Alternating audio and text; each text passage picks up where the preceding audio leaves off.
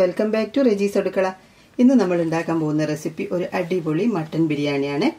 ഈ ബിരിയാണി എങ്ങനെയാണ് ഉണ്ടാക്കുന്നതെന്ന് നോക്കാം. ഇതിന് വേണ്ടിയിട്ടുള്ള ഇൻഗ്രീഡിയൻസ് എന്തൊക്കെയാണെന്ന് നോക്കിയാലോ. ഇതിനു മുമ്പായി നിങ്ങൾ ആരെങ്കിലും എന്റെ ചാനൽ സബ്സ്ക്രൈബ് ചെയ്യാതെ കാണുന്നുണ്ടെങ്കിൽ ഒന്ന് സബ്സ്ക്രൈബ് ചെയ്ത് സപ്പോർട്ട് ചെയ്യണം. ഒപ്പം തന്നെ തൊട്ടടുത്ത് തന്നെ കാണുന്ന ബെല്ലൈക്കണും കൂടി ഇനേബിൾ ചെയ്താൽ ഞാൻ അപ്ലോഡ് ചെയ്യുന്ന പുതിയ പുതിയ വീഡിയോയെ കുറിച്ചുള്ള നോട്ടിഫിക്കേഷൻ നിങ്ങൾക്ക് ലഭിക്കുന്നതാണ്. അപ്പം നമുക്ക് നമ്മുടെ റെസിപ്പിയിലോട്ട് പോയാലോ. അപ്പോൾ നമ്മൾ ആദ്യമായിട്ട് നമ്മുടെ മട്ടൻ ബിരിയാണിക്ക് ആവശ്യമായിട്ടുള്ള മസാലയാണ് തയ്യാറാക്കിയെടുക്കുന്നത്. ഇൻസ്റ്റന്റ് മസാലയാണ് ഇപ്പം തന്നെ പെട്ടെന്ന് ഫ്രഷ് ആയിട്ട് ഉണ്ടാക്കിയെടുക്കുന്നതാണ്. അപ്പോൾ അതാകുമ്പോൾ കൂടുതൽ ടേസ്റ്റി അപ്പോൾ നമ്മൾ ആദ്യം എടുത്തിട്ടുള്ളത് ഒരു ടേബിൾ സ്പൂൺ കൊറിയാണ്ടർ സീഡ്സ് ആണ്. നാല് റെഡ് ചില്ലിയാണ് എടുത്തിട്ടുള്ളത്. അതുകൂടി ആഡ് ചെയ്യാം. ഒരു ബേ ലീവ്സ് എടുത്തിട്ടുണ്ട്. അതുകൂടെ ആഡ് ചെയ്യാം. പത്ത് ഗ്രീൻ കാർഡമൺ അഥവാ ഏലക്കായ എടുത്തിട്ടുണ്ട്. അതുകൂടെ ആഡ് ചെയ്യാം. എട്ട് ക്ലോസ് അഥവാ ഗ്രാമ്പു ആണ് എടുത്തിട്ടുള്ളത്. മൂന്ന് പീസ് സിനമോൺ സ്റ്റിക്ക് അഥവാ കറുവത്തോൽ ആഡ് ചെയ്യുന്നു. രണ്ട് സ്റ്റാർ അനീസ് അഥവാ തെക്കോലം ആഡ് ചെയ്യുന്നു. ജാതിക്കയുടെ പകുതി നഡ്മഗ് ഹാഫ് അതുകൂടെ ആഡ് ചെയ്യുന്നു. രണ്ട് രണ്ട് പീസ് ജാതിപ്പൂവ് മെയ്സ് കൂടി ആഡ് ചെയ്യുന്നു. ഒരു ബ്ലാക്ക് കാർഡമൻ കറുത്ത ഏലക്കായ. ഹാഫ് ടീസ്പൂണ് പെപ്പർ കുരുമുളക് കൂടെ ആഡ് ചെയ്യുന്നു. നമുക്ക് ആഡ് ചെയ്യേണ്ടത് ജീരകങ്ങളാണ്. മൂന്ന് ടൈപ്പ് ജീരകങ്ങളാണുള്ളത്. ഇതിൽ ഏറ്റവും ആദ്യം എടുത്തിട്ടുള്ളത് വലിയ ജീരകം അഥവാ സ്വീറ്റ് ക്യുമിനാണ് ഇത് നമ്മൾ ഏറ്റവും കൂടുതൽ ആഡ് ചെയ്യുന്നു. ഒരു ടീസ്പൂണ് സ്വീറ്റ് ക്യുമിന് നമ്മൾ ആഡ് ചെയ്യുന്നു. പിന്നെ നമ്മൾ എടുത്തിട്ടുള്ളത് നല്ല ജീരകമാണ്. അത് വളരെ കുറഞ്ഞ അളവിൽ മാത്രമേ ആഡ് ചെയ്യുന്നുള്ളൂ. ഏകദേശം ഒരു കാൽ ടീസ്പൂണോളം നല്ല ജീരകം കൂടി ആഡ് ചെയ്യുന്നു.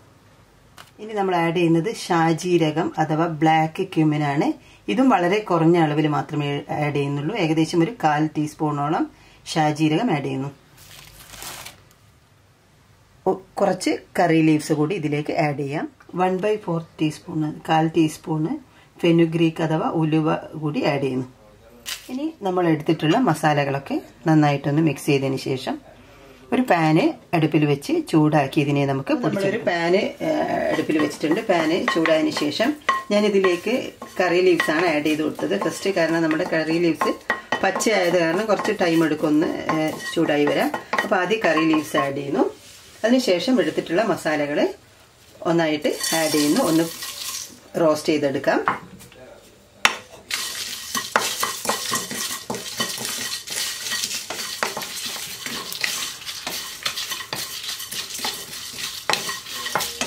നമ്മുടെ മസാലകൾ നന്നായിട്ട് റോസ്റ്റ് ആയി വന്നിട്ടുണ്ട്. ഇനി നമുക്കിതിനെ സ്റ്റൗ ഓഫ് ആക്കിയതിന് ശേഷം മറ്റൊരു പാത്രത്തിലേക്ക് ഷിഫ്റ്റ് ചെയ്യാം. നമ്മൾ ഷിഫ്റ്റ് ചെയ്തിട്ടുണ്ട്. ഇനി ഒന്ന് ചൂടൊന്ന് പോകുന്നത് വരെ നമുക്ക് വെയിറ്റ് ചെയ്യാം. അതിനുശേഷം നമ്മളിതിനെ പൊടിച്ചെടുക്കണം.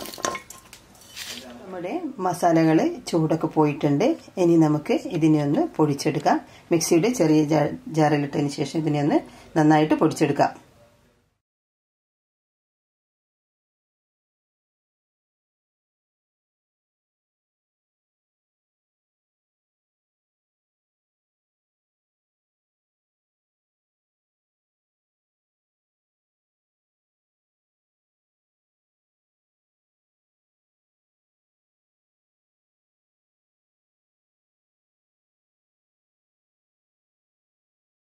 അപ്പോൾ നമ്മുടെ ബിരിയാണി മസാല ഇവിടെ റെഡി ആയിട്ടുണ്ട്.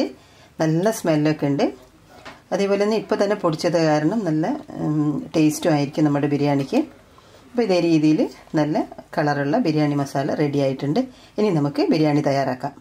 നമ്മളെ മട്ടൺ ബിരിയാണിക്ക് ആവശ്യമായിട്ടുള്ള ഇൻഗ്രീഡിയൻസ് എന്തൊക്കെയാണെന്ന് നോക്കാം. ഞാനിവിടെ എടുത്തിട്ടുള്ളത് ഒരു കിലോ ഇന്ത്യൻ മട്ടനാണ് മറ്റുള്ള മട്ടനാണെങ്കിൽ കുറച്ച് സ്മെല്ലുണ്ടായിരിക്കും അതുകൊണ്ട് ഞാനിവിടെ എടുത്തിട്ടുള്ളത് ഇന്ത്യൻ മട്ടനാണ് ഈ മട്ടൺ നന്നായിട്ട് കഴുകി വെള്ളമൊക്കെ നന്നായിട്ട് പോക്കിയതിന് ശേഷം വെച്ചിട്ടുള്ളതാണ്. മുഴുവനും പോക്കിയില്ല എങ്കിൽ നമ്മൾ വേവിക്കുന്ന സമയത്ത് വെള്ളം അധികമായി പോവും. അതുകൊണ്ട് നന്നായിട്ട് വെള്ളം കളയണം. കയമ റൈസാണ് എടുത്തിട്ടുള്ളത്. ഇത് ബർദമാൻ റോസിന്റെ കയമ റൈസാണ്. ഇതിനെ നമ്മൾ ഒരു ഒന്ന് സോക്ക് ചെയ്ത് വെക്കണം.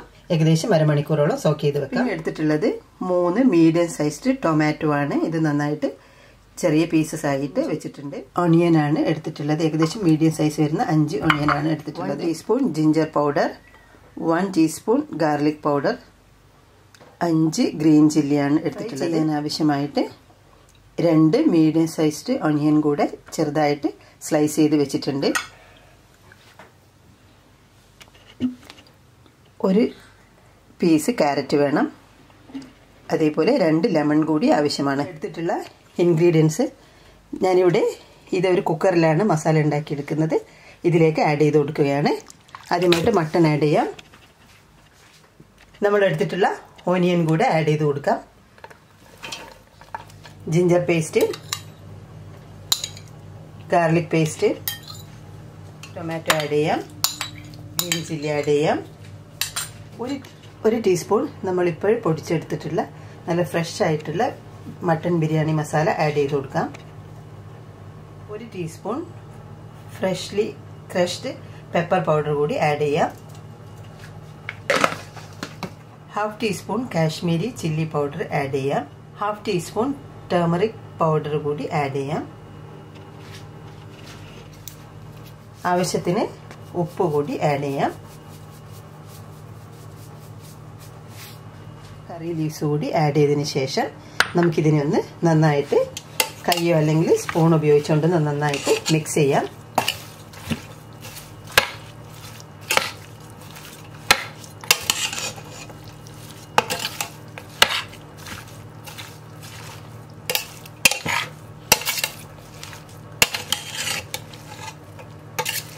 ഇനി നമുക്ക് ഇതിലേക്ക് നമ്മൾ തീരെ വെള്ളം ആഡ് ചെയ്യുന്നില്ല. കാരണം മട്ടന് വേവുന്ന സമയത്ത് ഇതിൽ നിന്ന് വെള്ളം ഇറങ്ങിക്കോളും. അപ്പം നമ്മൾ ഇതിൽ കുക്കറിനെ നന്നായിട്ട് ലോക്ക് ചെയ്തതിന് ശേഷം സ്റ്റൗ ഓൺ ചെയ്ത് വെക്കുന്നു. ഏകദേശം ഒന്ന് രണ്ട് വിസിലിന് ശേഷം നമ്മൾ അത് ഓഫാക്കിയിട്ടതിന് ശേഷം അതിന്റെ വേവ് ചെക്ക് ചെയ്യണം. അതിനുശേഷം വീണ്ടും ഓണാക്കിയാൽ മതി. കാരണം ചില മട്ടന് പെട്ടെന്ന് വെന്ത് കിട്ടും. നമ്മുടെ മട്ടൺ രണ്ട് വിസിൽ വന്നതിന് ശേഷം ഞാൻ അതിനെ ഓഫ് ചെയ്ത് വെച്ചിട്ടുണ്ട്. ഇനി വിസിലിന്റെ ഒക്കെ പോയി വരുമ്പോഴേക്കും നമുക്ക് നമ്മൾ എടുത്തിട്ടുള്ള ഒനിയനും അതേപോലെ തന്നെ കാഷ്യൂനട്ട് റേസിനും കൂടെ ഫ്രൈ ചെയ്തെടുത്തിട്ടുള്ളത് റോസ്റ്റഡ് കാഷ്യൂനട്ടാണ്. അപ്പോൾ അതുകൊണ്ട് തന്നെ ഇത് രണ്ടും കൂടെ ഒരുമിച്ച് ഞാൻ ആഡ് ചെയ്യാണ്.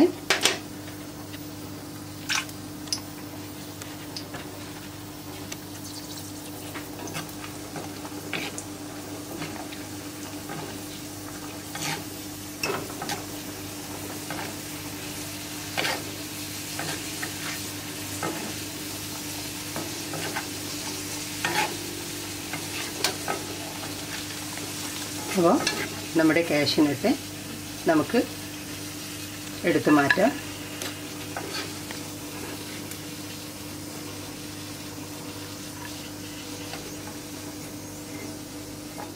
ഇനി ഇതിലേക്ക് നമ്മൾ തിന്നായിട്ട് സ്ലൈസ് ചെയ്ത് വെച്ചിട്ടുള്ള ഓനിയൻ കൂടി ആഡ് ചെയ്ത് കൊടുക്കാം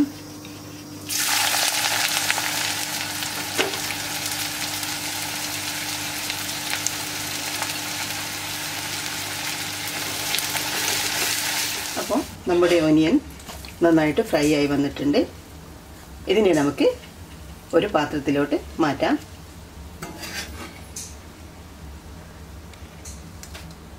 മാറ്റിയ ഉടനെ തന്നെ നമ്മളത് കൈ ഉപയോഗിച്ചുകൊണ്ട് ഇതിനെ ഒന്ന് സെപ്പറേറ്റ് ചെയ്തെടുക്കാം. രണ്ട് വിസിലിന് ശേഷം ഓഫാക്കി വെച്ചിട്ടുണ്ട്. അപ്പോൾ ഇതിന് ഇത്രയും വെള്ളം വന്നിട്ടുണ്ട്.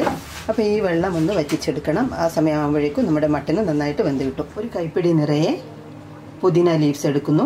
അതേ അളവിൽ തന്നെ കൊറിയാണ്ടർ ലീവ്സും നേരത്തെ രണ്ട് ലെമൺ എടുത്തിരുന്നു. അതിലൊരു ലെമൺ ഞാൻ സ്ക്യൂസ് ചെയ്തിട്ട് അതിൽ കൂടി നമ്മുടെ മസാലയിലോട്ട് ഒഴിക്കുന്നു. അപ്പോഴാണ് നമ്മുടെ മസാലയ്ക്ക് നല്ല ടേസ്റ്റ് ലഭിക്കുന്നത്. നമ്മളിതിൽ തൈര് ചേർക്കുന്നില്ല. പകരം നമ്മൾ ചേർക്കുന്നത് ലെമൺ ജ്യൂസാണ് അപ്പോൾ ഓരോരുത്തരുടെ ടേസ്റ്റിനനുസരിച്ച് ലെമൺ ജ്യൂസിന്റെ അളവിൽ വ്യത്യാസം വരുത്താം. ഇനി കൂടുതൽ ആവശ്യമുള്ളവർക്ക് കുറച്ചുകൂടെ ചേർക്കാവുന്നതായിട്ടുള്ള മല്ലിയുടെ ഏകദേശം പകുതി നമ്മൾ ഇതിലോട്ട് മസാലയിലോട്ട് ആഡ് ചെയ്യാം.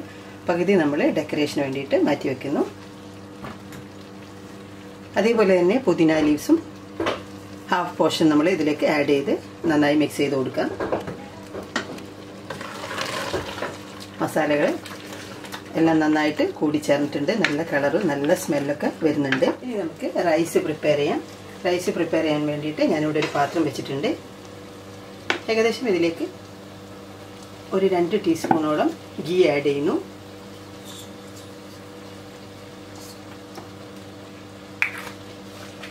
അതേപോലെ തന്നെ ഏകദേശം രണ്ട് ടീസ്പൂണോളം കോക്കനട്ട് ഓയിൽ വെളിച്ചെണ്ണ ആഡ് ചെയ്യുന്നു. നമ്മുടെ ഒഴിച്ചിട്ടുള്ള കുക്കിംഗ് ഓയിൽ അതേപോലെ തന്നെ ചൂടായി വന്നിട്ടുണ്ട്. അതിലേക്കൊരു നാല് ഏലക്കായ ഇട്ടിട്ടുണ്ട്. രണ്ട് കഷ്ണം പട്ട ഇട്ടിട്ടുണ്ട്.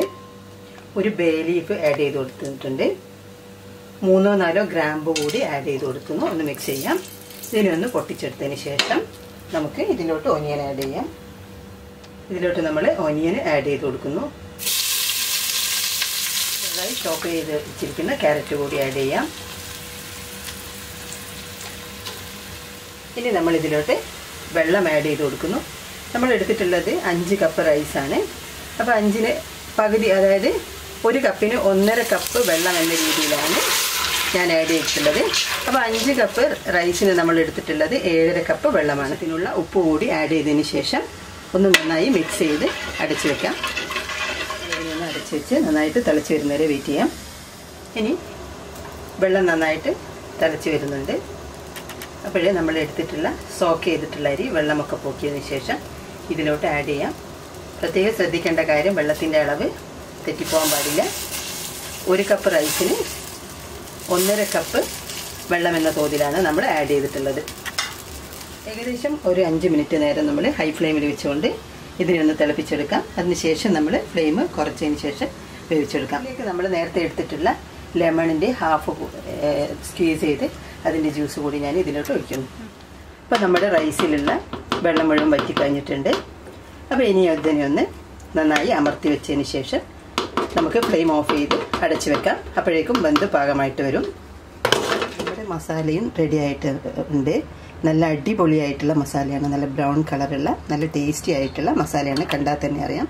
നല്ല ടേസ്റ്റിയാണെന്ന് ഇനി നമുക്കിതിനെ ഒന്ന് ദം ചെയ്തെടുക്കണം. ഇനി നമുക്ക് നമ്മുടെ ബിരിയാണി ഒന്ന് ദം ദമ്മിട്ടെടുക്കാം അപ്പോൾ അതെങ്ങനെയാണെന്ന് നോക്കാം. ഞാൻ പാൻ എടുത്തിട്ടുണ്ട്. പാൻ ഒന്ന് ചൂടാക്കിയതിന് ശേഷം ഇതിൽ കുറച്ച് ഓയിൽ അപ്ലൈ ചെയ്തിട്ടുണ്ട്. അതിനുശേഷം കുറച്ച് മസാല ആഡ് ചെയ്യുന്നു.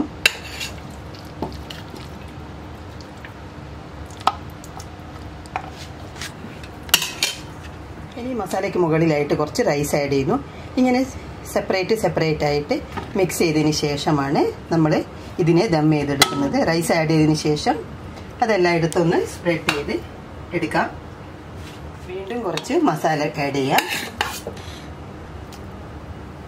അതേപോലെ തന്നെ നമ്മൾ നേരത്തെ മാറ്റി വെച്ചിട്ടുള്ള കുറച്ച് കൊറിയാണ്ടർ ലീവ്സ് ഇതിലോട്ട് ആഡ് ചെയ്യാം.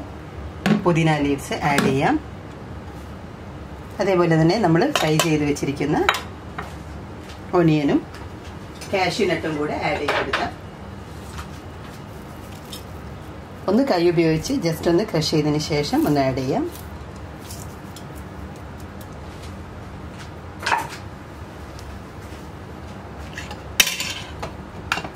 വീണ്ടും റൈസ് ആഡ് ചെയ്യാം. ഇങ്ങനെ ഒരു മൂന്നോ നാലോ ലെയർ ആയിട്ട് നമ്മൾ ഗൾഫ് സ്റ്റൈലിനാണ് നമ്മൾ ബിരിയാണി ഉണ്ടാക്കുന്നത്. ഇനി നിങ്ങൾക്ക് വേണമെങ്കിൽ മസാല താഴെ ആഡ് ചെയ്തിട്ട് അതിന് മുകളിലായിട്ട് വേണമെങ്കിൽ റൈസ് ആഡ് ചെയ്യാം. അത് ഓരോരുത്തരുടെ ഇഷ്ടത്തിനനുസരിച്ച് മാറ്റങ്ങൾ വരുത്താവുന്നതാണ്. അപ്പോൾ നമ്മുടെ മസാലകൾ അതേപോലെ റൈസും കംപ്ലീറ്റ് ആഡ് ചെയ്ത് കഴിഞ്ഞു. ഇനി ഇതിലേക്ക് നമ്മൾ ഏകദേശം രണ്ട് ടീസ്പൂണോളം റോസ് വാട്ടർ കൂടി ആഡ് ചെയ്ത് കൊടുക്കാം. അതിനുശേഷം ഇതിനെ ഒന്ന് അടച്ചു വെച്ച് നമുക്ക് ദം ചെയ്തെടുക്കണം.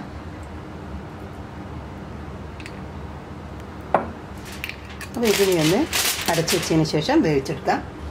നന്നായിട്ട് ലോക്ക് ചെയ്ത് വെച്ചിട്ടുണ്ട്.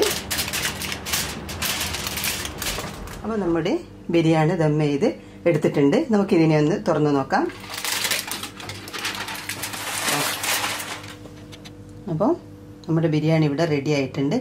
ശരിക്കും പറഞ്ഞാൽ ഇതൊരു ഫ്യൂഷൻ സ്റ്റൈലാണെന്ന് പറയാം. അതായത് നമ്മുടെ മലബാറിലുള്ള ബിരിയാണി അതേപോലെ ഗൾഫും കൂടെ മിക്സ് ചെയ്തിട്ടുള്ള ഗൾഫ് സ്റ്റൈലും കൂടെ മിക്സ് ചെയ്തിട്ടുള്ള ഒരു ബിരിയാണിയാണ്. ടിപ്പിക്കൽ മലബാറി റെസിപ്പി അല്ല. ബിരിയാണി ഒന്ന് നന്നായിട്ട് മിക്സ് ചെയ്തെടുക്കാം.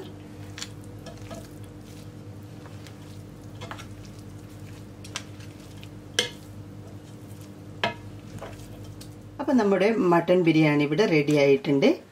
അപ്പോൾ നിങ്ങൾക്ക് എല്ലാവർക്കും എന്റെ റെസിപ്പി ഇഷ്ടപ്പെട്ട് കാണുമെന്ന് കരുതുന്നു. ഇഷ്ടപ്പെടുകയാണെങ്കിൽ നിങ്ങൾ അത് ലൈക്ക് ചെയ്യണം.